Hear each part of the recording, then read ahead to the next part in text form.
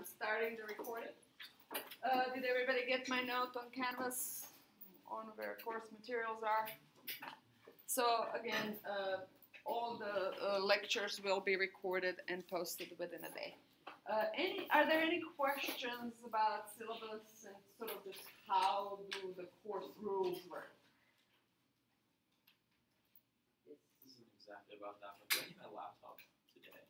Today, no. um, so we will actually first go through linear algebra. So how many of you are parallel to this class also in math 427J or whatever its name, differential equations? Well, most of you. So basically that's where linear algebra is tackled. You might have had some in high school. Yes? No? Maybe? Or maybe you don't remember anymore? So we will actually go through a pretty fast-paced overview for the purposes of this class, because linear algebra, or rather matrices and vectors, is how we store information and refer to it. And it's underlining any kind of programming because we gotta store information to be able to use it and refer to it.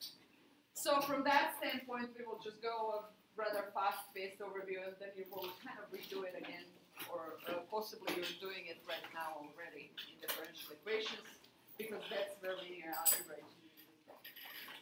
So first part of the course will sort of be on paper. and the reason why we want to, ultimately, the point of this course is not to do things on paper, but to use computers to do them for you. But it, we will first go through things on paper so we know how to check computer whether computer is doing the right thing. And that's an important part of doing any. Any other questions about the? All right. Well, then I will continue. Does anybody need a copy of syllabus? I have an extra copy, a few extra copies. Okay. If you do, well, they're here. If not, it's available as a PDF. One more uh, thing is that I sent, I believe, uh, did I possibly, if not, I will send uh, right now. So I am right now kicked out of my office for next two weeks because of HVAC replacement.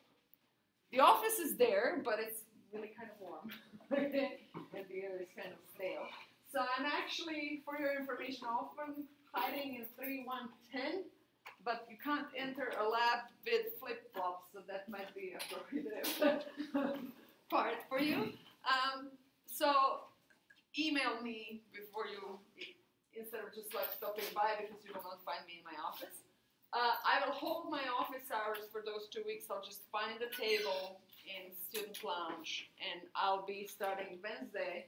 I'll be 11 till 12, or basically before this class in student lounge and available for questions for the two weeks until I get back to my office because I do like my office. so.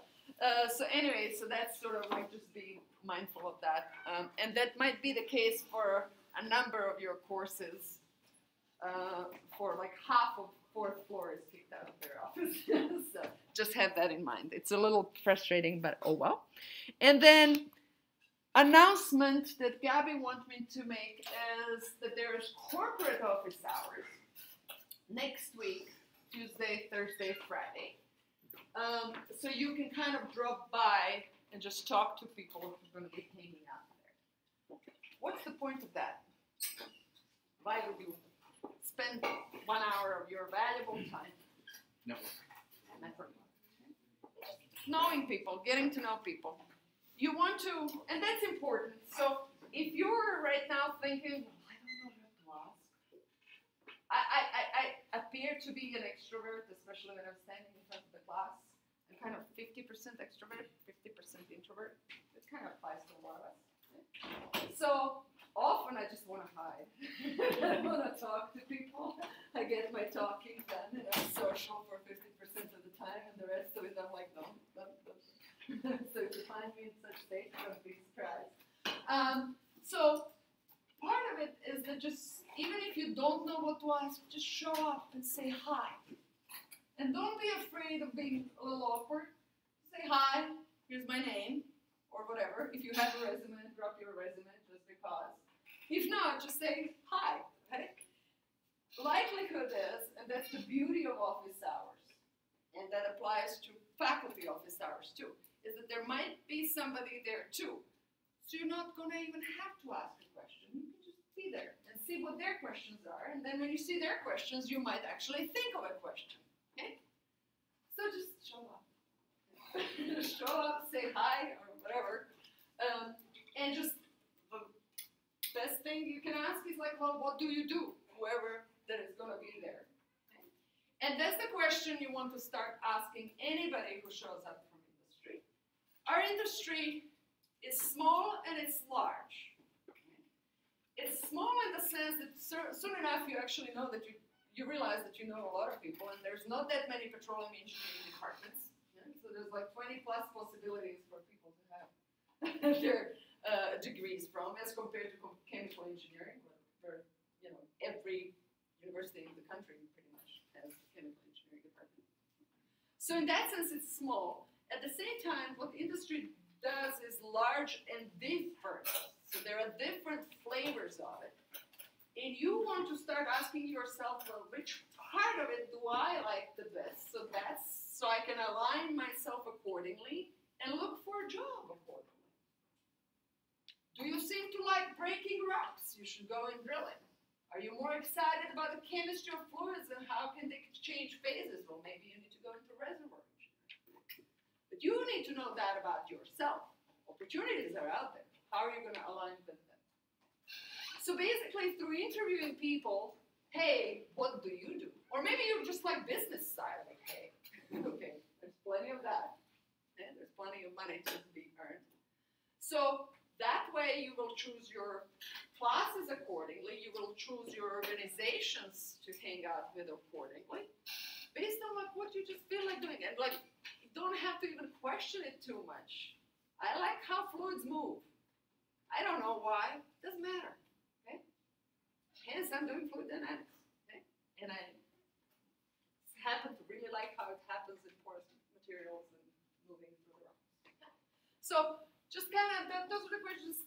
Have it in the back of your mind. Store the library of people you talk to. Maybe you want to uh, keep up with their LinkedIn, LinkedIn accounts. Then you can later most often than not, you will have your question later, like three months later, and the person you talked to three months ago. But if you have their LinkedIn account, you can actually go and A, get in contact with them, or B, see what is their educational experience, what is their path, so you can chart your own.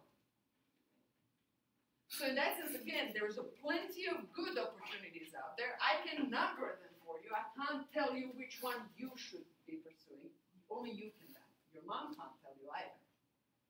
She probably wants to, but you still have to be in charge of that for you to actually be successful with it. So again, just drop by and use the, these are the great opportunities. This is a better opportunity than Expo. Expo is a bit of a zoo. And those of us who are 50% introverts, they're like, oh my God, so many people. Okay? so you might not function the best in the environment that has too many people around there and you have to be on your game. Okay? This gives you a little bit more of a one-to-one that is both a little scary and more comfortable at the same time. Okay? But you have to kind of learn to swim in both type of events. So go learn swimming. Okay? Jump in and learn. Second option that I like to talk about is I'm behind an email that went around, which I don't know. Where is my I will pop it up soon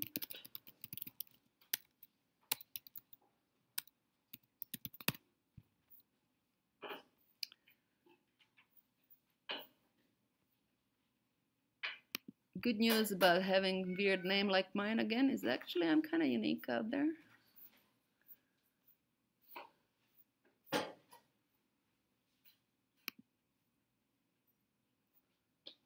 Let me navigate to my personal website. So I'm advertising at the department something called Team Energy for running.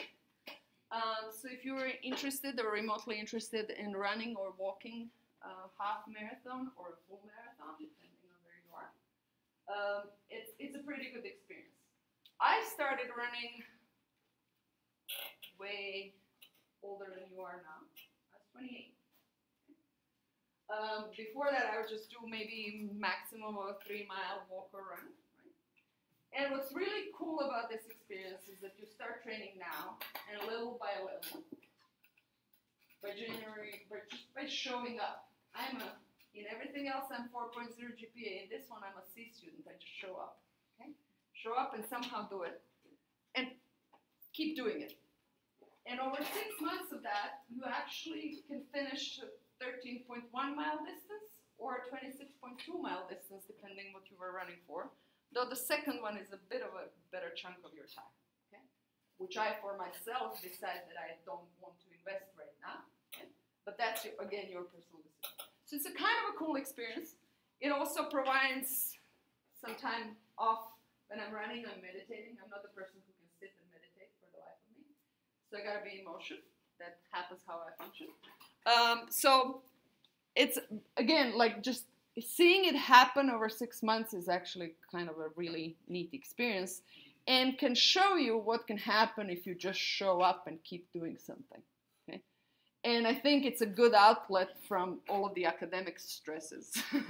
it's a definite good alternative. So if you don't find that, find something else. I, uh, I strongly suggest that you have something. But the training with, so we train with Austin Fit, where there is all kinds of paces. I'm in the slow one. Okay? I go 11 to 12 minutes per mile, but I get there. Okay? Fast people go 6 to 7 minutes per mile. They can do their thing. Okay? I have what's called slow twitch muscles. and I could go for long, but uh, slowly. And there are people who walk. 13 mile walk is a decent walk. And most people drive that distance. So again, wherever you are on the spectrum, there is space for you, and there's a group for you with your own space, uh, pace, and there's a volunteer coach that can help you with whatever issues show up.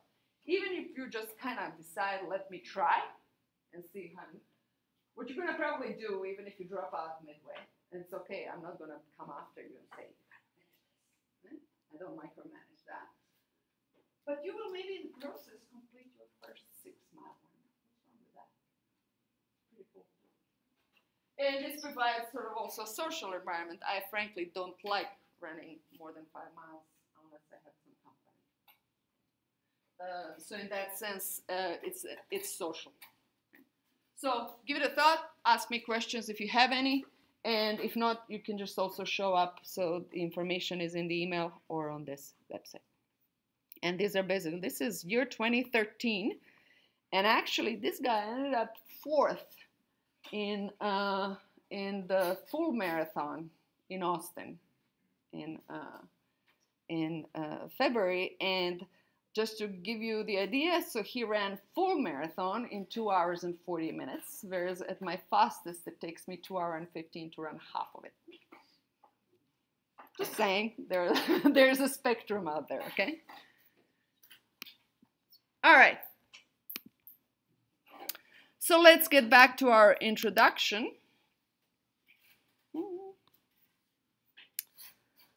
We left off uh, at the motivation part, and the last part of the sort of a long time I spent on this slide was that typically we have for the same things that we study, we have scientific disciplines and engineering disciplines. Science likes to isolate specific uh, mechanisms as much as possible and control as much as possible to reveal what the mechanisms are. Engineers do that too, but engineers at the end of the day have to work with whatever they have to work with. Okay? So they have to build build the bridge in whatever environment needs a bridge. They have to go in subsurface in our case, no matter how difficult it might be or how deep might might be. And I would say that frankly, drilling some of the deepest or longest wells go about 10 kilometers this way and then 10 kilometers this way, often under sea or ocean. Okay? That blows my mind because you got to drill the rock all the way through okay, to put the tubing in. That blows my mind more than going to the moon. Okay? Going to the moon has its own challenges, but you can kind of see the path. As long as you, your speed is higher, you have fuel enough that will pull you out to the orbit so that you get out of the gravitational influence of this Earth. You, you're going, right? Whereas this drilling through the rock business is a little more uncertain.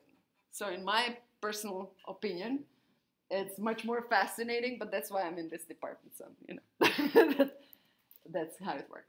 So, again, um, our tools uh, for getting the knowledge are typically theoretical, experimental, just go in the lab, also try to isolate the system and control for certain uh, parameters and do it.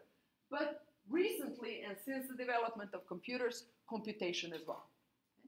And computation, basically, this class is supposed to introduce you to the computation since it's the most recent tool. And I have like three little pictures to kind of depict that. So when we think of theory, we think of theory of relativity first, and Albert Einstein is the face of that.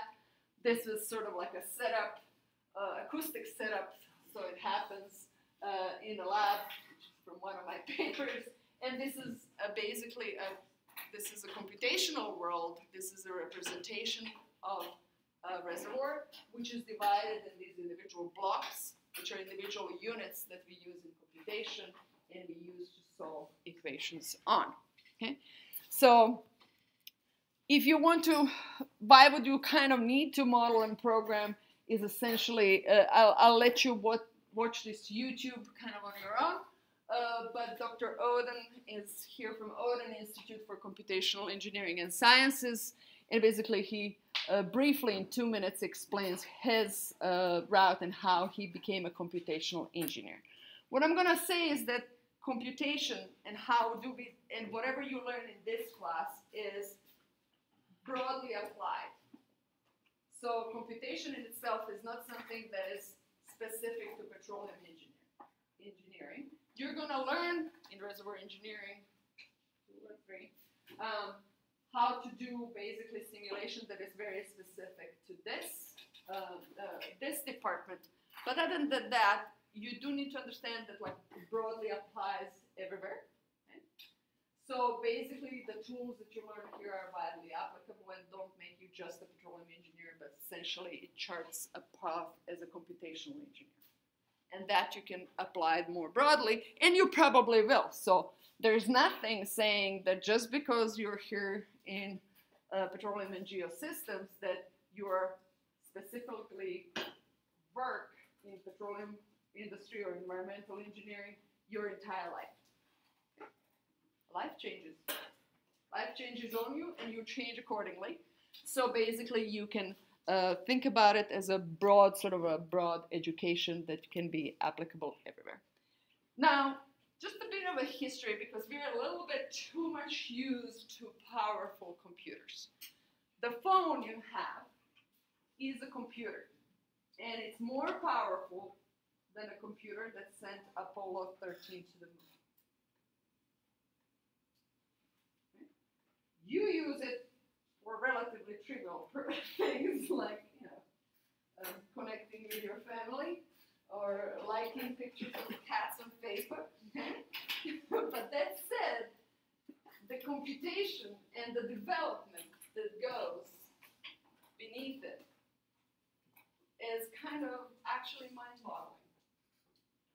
So let me give you an example of something that we're gonna these days just taking taking for granted. I uh, nowadays when you post a picture on Facebook, then Facebook goes and starts uh, labeling and tagging people in that photograph for you, doesn't it? So it pulls up and it says, "Is this so and so?" And you're like, "Oh wow, yeah, it is." Okay.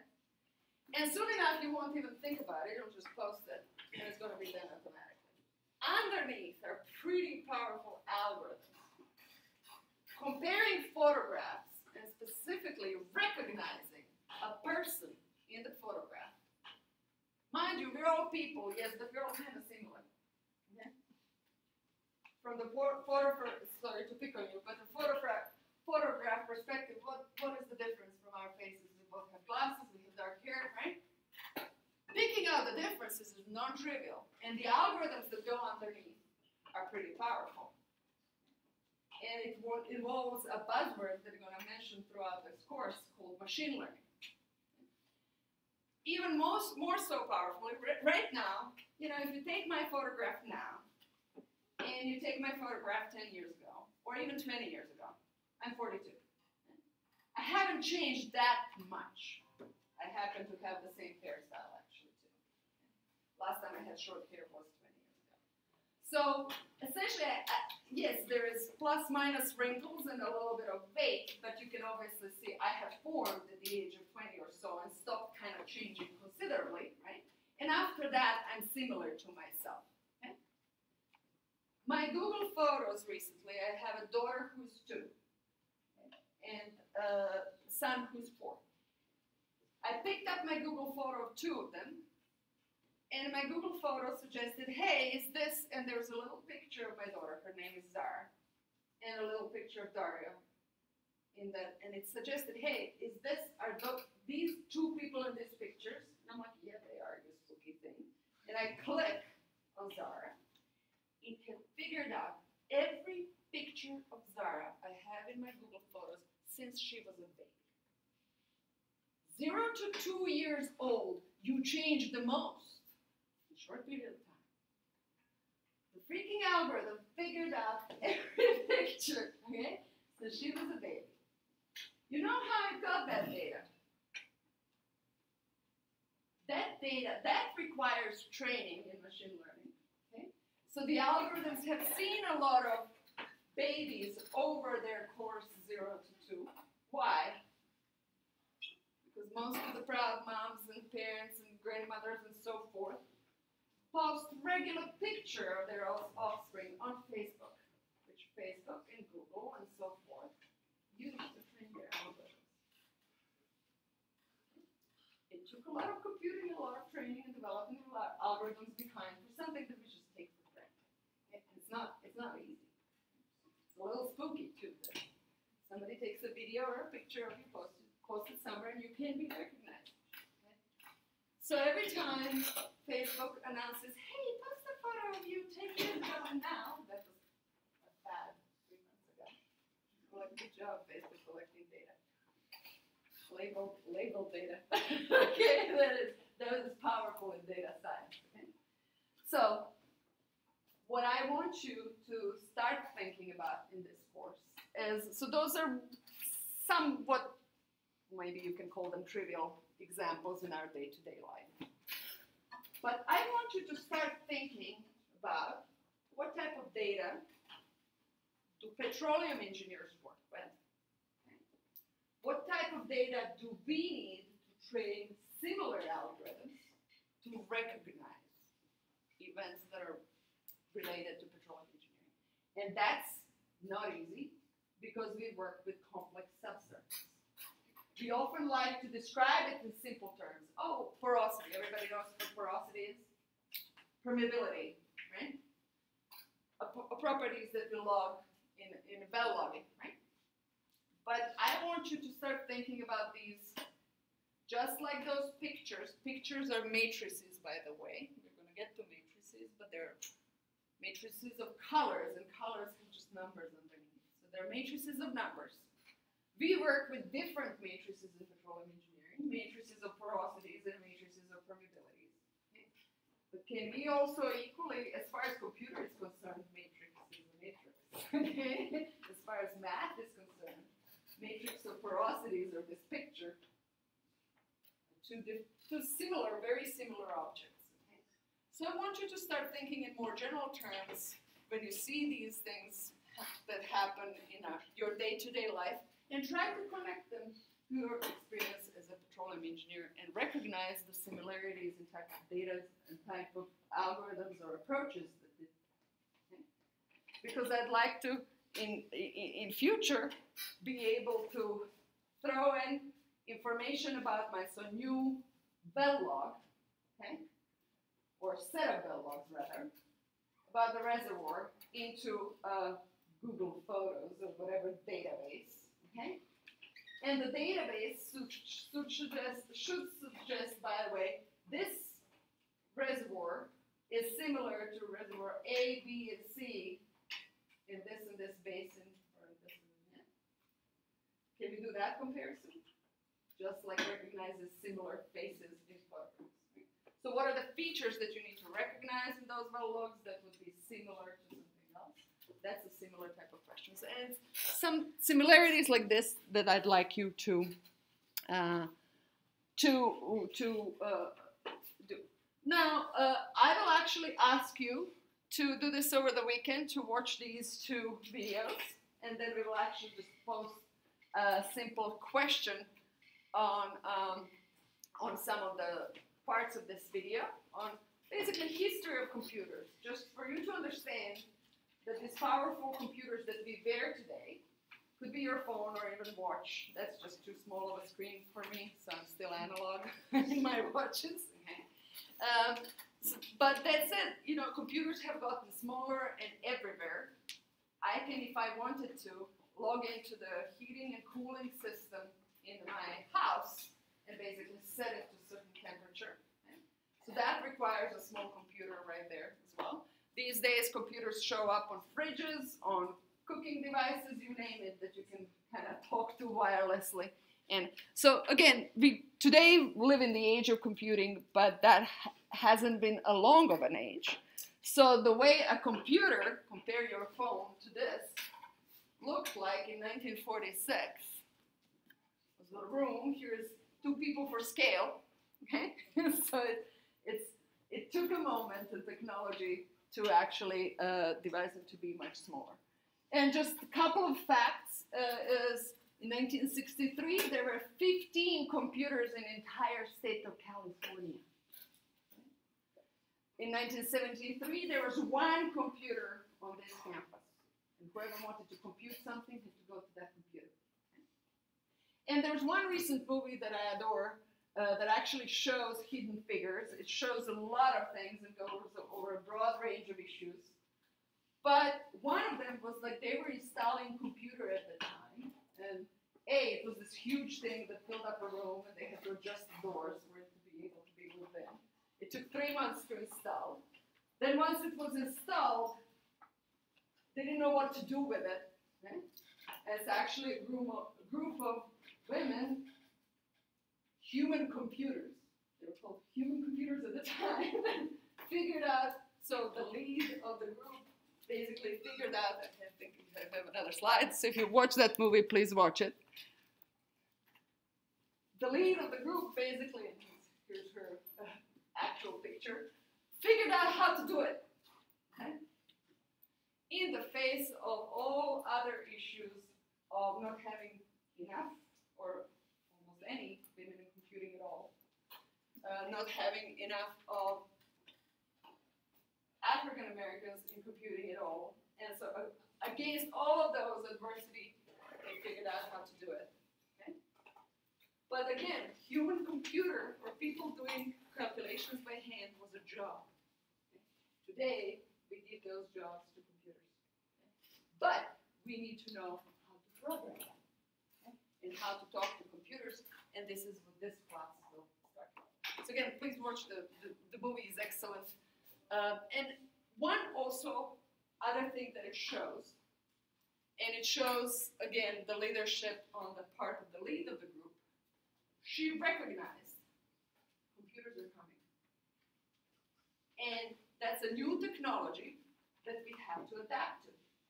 And if we don't adapt to and learn how to code and talk to the computers, we will lose the jobs. So what she, as a technical lead, did, she taught herself how to program, and then taught her entire group of 20 of how to program. And by the time they figured out how to install the computer, they, she just showed up and said, hey, and I have 20 people who know how to do that. That's what leaders, leaders do. And you will, in the same industry, more than any other, be often faced the crossroads. That's a crossroad okay, of a new technology simply coming and overtaking. And you can go against it, good luck with that. Okay? And you know, dig your feet in and say, I'm not moving, I'm staying whoever I am. But likelihood is you gotta change. So you've gotta change, but adapt quickly. And it's the leaders that actually see that and kind of lead an entire group in that direction. So that's something to think about because I don't know what technical change will be there 10 years from now. Okay? Something that we haven't really dealt with, everybody has heard of shale. In this industry, we didn't do shale 20 years ago. That kind of showed up when I came here as a young professor in this department. I'm like, okay, I got to now do research in shale. That means research on length scales that are 1,000 times smaller than what I was used to or trained to do. Da, da, da. So we all do that, and you will, in your life, or your working life, for 30 to 40 years, you will go through two to three of such shifts. Okay? So that's something that you have to, and whatever your undergraduate degree teaches you, we should teach you how to learn, because you will keep learning. So all of these classes and the system we go through in classes to learn basically just teaches you how to learn, how to pick up a book and acquire new knowledge. And give yourself, typically, one semester is actually a good unit of time to learn something new. You're not going to learn it overnight. You have to ease ourselves into it. You're not going to just sit in one week and learn everything because that's not how classes are structured here, are they? You're not taking two weeks of one class and two weeks another class. We don't have modules. That's why. Because humans learn better at this, like let's introduce new stuff three times a week, not six hours today and then six hours tomorrow. So we take a little time to actually acquire and new skill or new knowledge, and basically you will learn how to learn and move on from there. Anyway, so computational engineer to this date, and computers are not going away, is a powerful career path and it doesn't really matter which type of engineering you're in. Yeah. Now, this is the movie I will play, at least one today.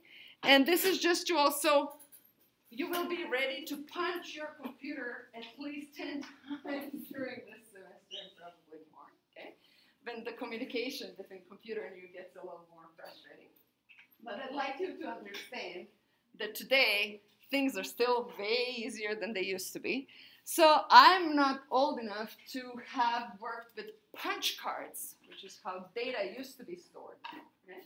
But Dr. Bommer is. so we interviewed Dr. Bommer, or rather, two students from this class interviewed Dr. Bommer in uh, 2015. And I'm gonna let you, over five minutes, learn how computing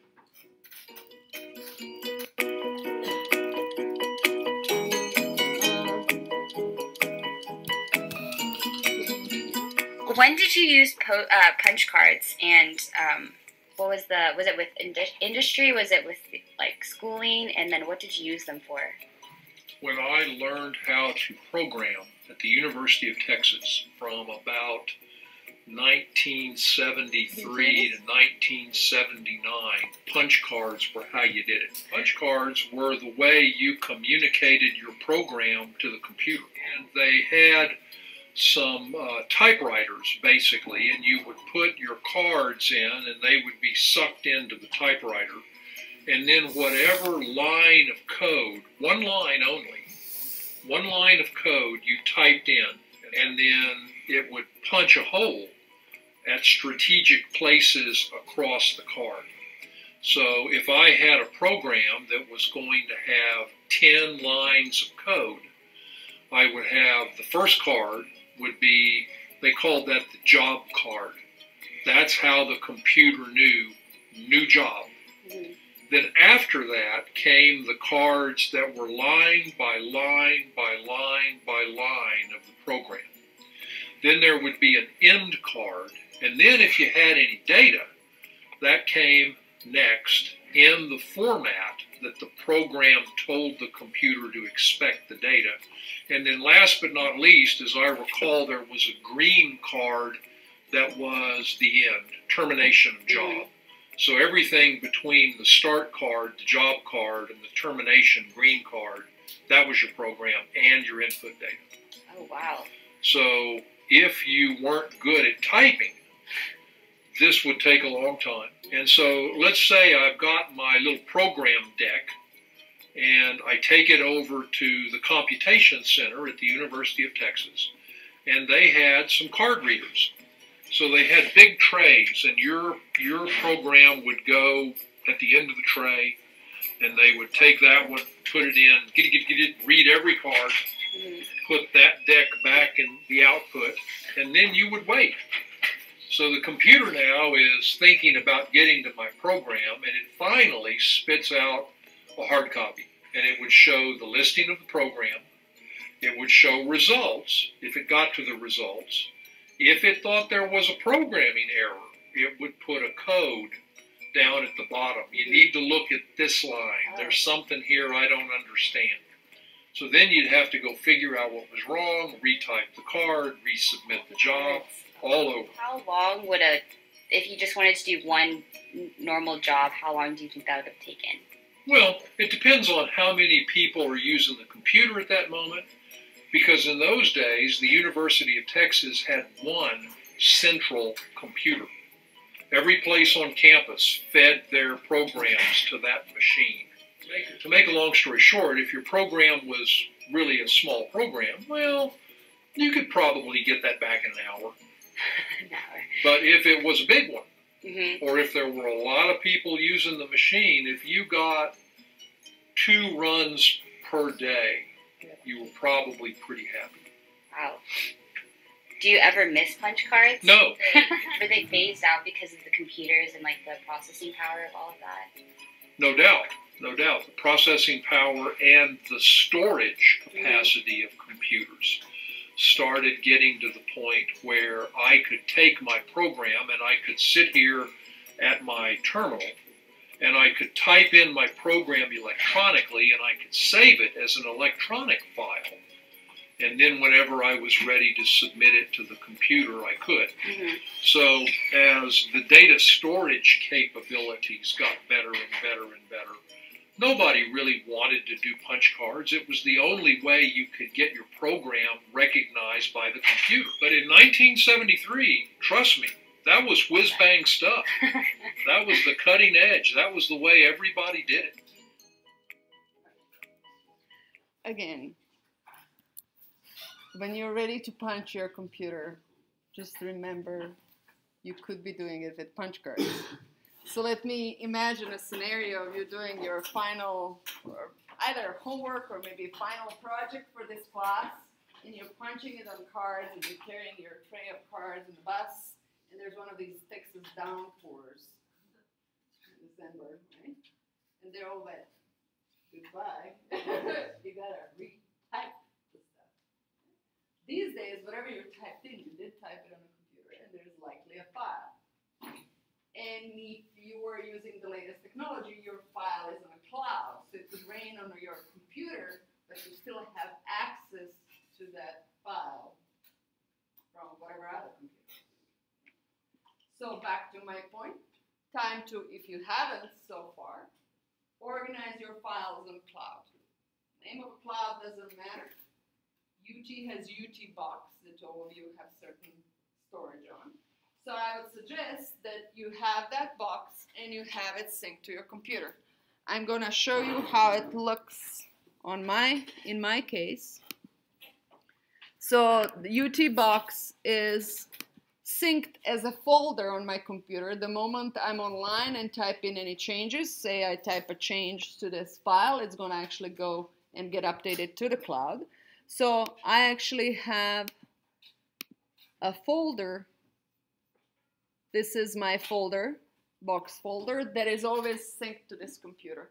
Something happens to this computer, I can log into another computer and download the box sync and it will organize the same folder with the latest files that were saved last time my computer was online.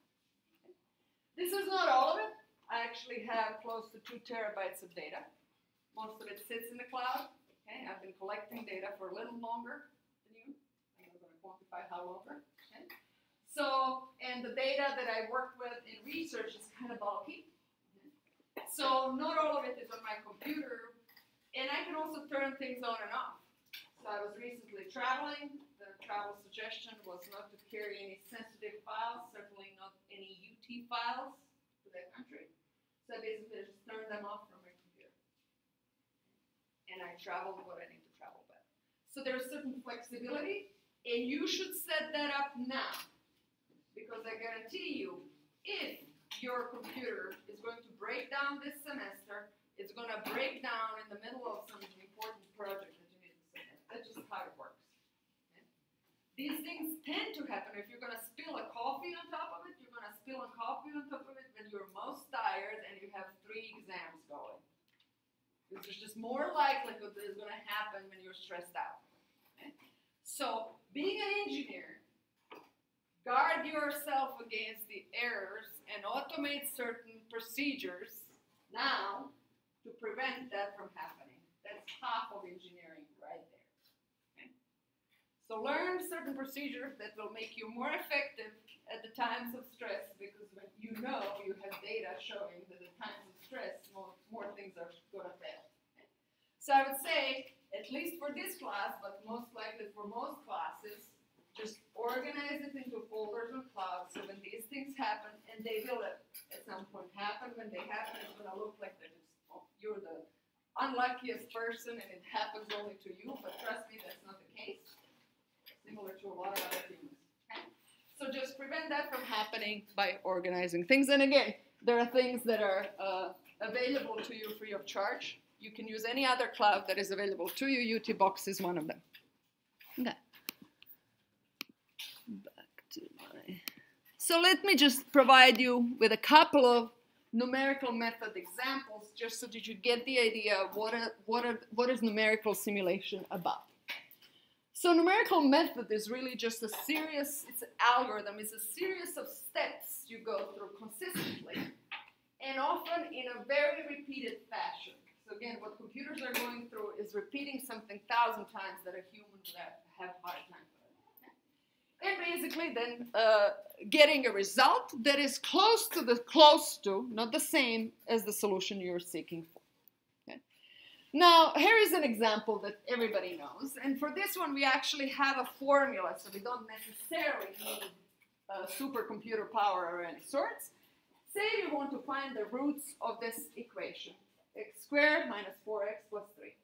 It's a quadratic equation. You probably learned how roots look like sometime in high school, if not before. So basically we have a formula and we can use a plain calculator. I don't need to do any serious programming right, to find the result. So basically there's a formula based on this ax squared plus bx plus c is equal to 0. Then if I plug in a, b, c's into this formula, I'm going to get the result that one root is 1 and the other one is 3. That's quadratic equation. Greek mathematicians way back when knew about it. Okay? Well, uh, not all equations we want to solve are quadratic. So let's say that there's a simple or a version of an equation that we use a lot is uh, that for pressure, volume, and temperature of an ideal gas. What is an ideal gas? No real gas is ideal gas. Some of them are close to in their behavior. It's typically gas that I could conceptualize as its molecules as a bunch of bouncing balls. I like thinking about them as tennis balls. That when they collide, they just bounce off each other and go their merry ways without any strong intermolecular forces or anything weird happening. So really the kinetic theory deals with that. You can actually then describe this gas, these bouncing balls, and you lose no energy in that collision. You just kind of have a super elastic collision, which again, no collision is super elastic, but some of them are close. And basically that gives you this relationship, which is a linear relationship, right? There's R in there, which is the constant, gas constant that we know. So if I give you two of these properties, the third one is really easy to calculate. You plug in two, you have R, and you find the third one. Easy equation to solve. Calculator will do, or even by hand. Now, most of the real gases, and I mentioned already that petroleum engineering go, goes to extreme depths with the temperature and pressure are extreme. Okay? Even what was ideal gas on the surface is not going to be ideal in those conditions. Okay? So we have to have a little more complicated equation. This equation is nonlinear. It sort of divides by a quadratic equation down here and it has this both inverse linear and inverse quadratic terms, so he- heavily non-linear terms. How do I solve for it? Okay. I do have A and B. Those have been tabulated over time by uh, chemists and chemical engineers. So I have those. I can find them for methane, say.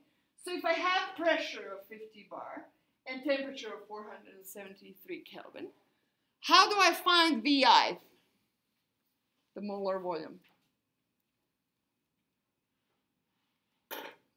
A little harder?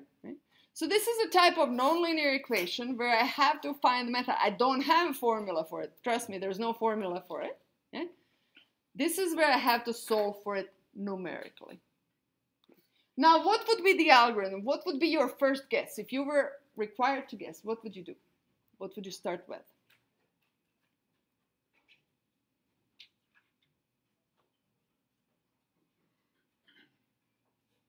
Like just the ballpark of a number.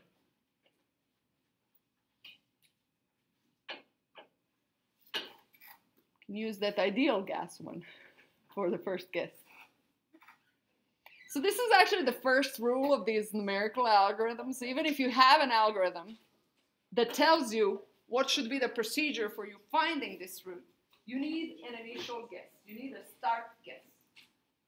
It doesn't have to be the one provided by ideal gas law, but that's actually a very pretty good, at least it's in the right ballpark of numbers somewhere. And that's what you start with. Okay? So one thing that you do without computers is what we actually do is we actually organize this equation so that it's some expression equals to zero. And now I have generalized it. Okay, so the algorithm that I can come up with is more generalized. And then I see, I plug in the numbers, and I'm looking for what is this expression equal to zero.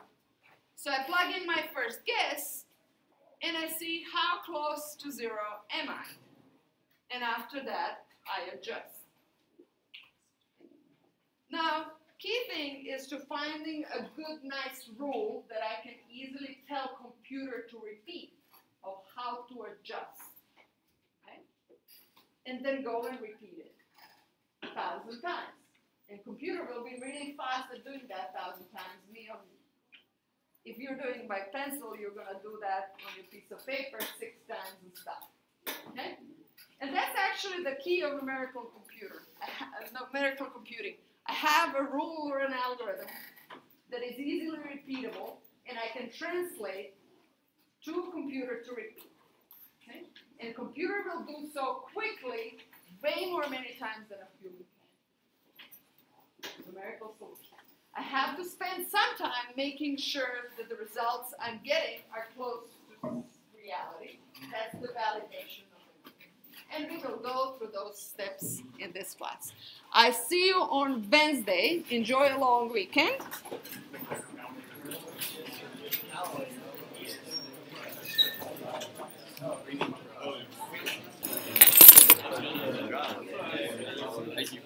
Welcome. See you on Wednesday. Okay.